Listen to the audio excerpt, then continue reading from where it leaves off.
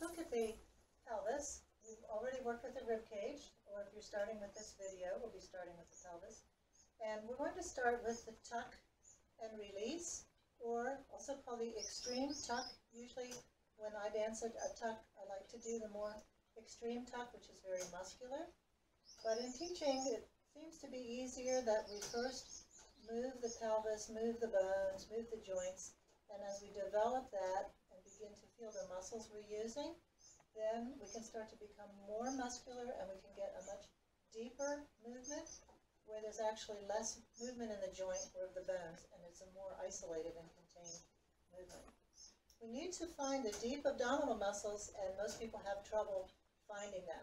A lot of times when we're doing sit-ups and other types of exercises, we're only getting this midsection or upper part of the abdominal. So we need to find what the pelvic floor muscles are and the pelvic floor muscles help to support your spine whenever you go up into releve. You want those muscles to lift the lower spine, and that helps us to access the lower abdominals where we can get a really deep isolation. Also very good for you and good for your tummy. So what we're going to feel is the, the sit bones, which is the bottom of your pelvis where you sit on these two rockers. Sits bones or sit bones.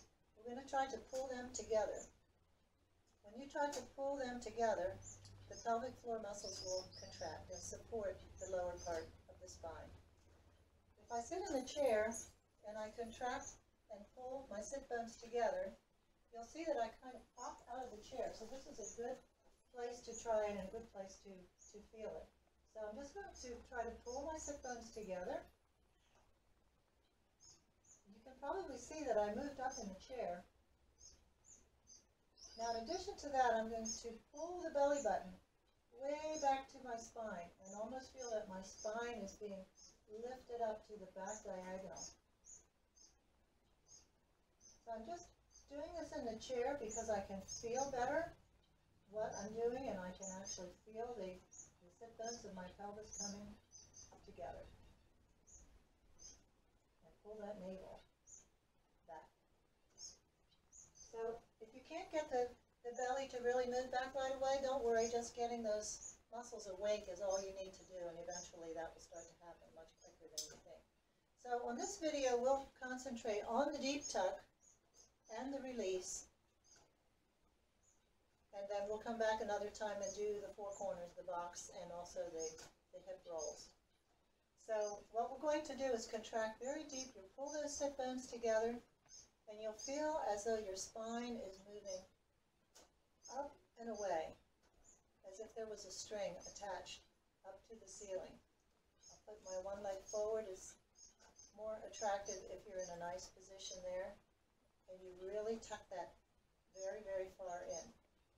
Now, when you do the drop, you don't want to get into a big hyper extension. Your neutral position already has a curve.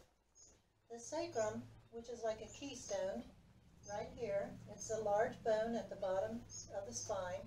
You come down the lumbar spine, and then there's a curve there to go into the sacrum, and then the pelvis articulates with the sacrum right here. So there are lots of attachments there, and that's what makes your, your belt look nice, or your jeans, the attachment, and that curve. So we're not trying to accentuate the natural curve, and we're not trying to eliminate the natural curve, but just find that nice neutral position.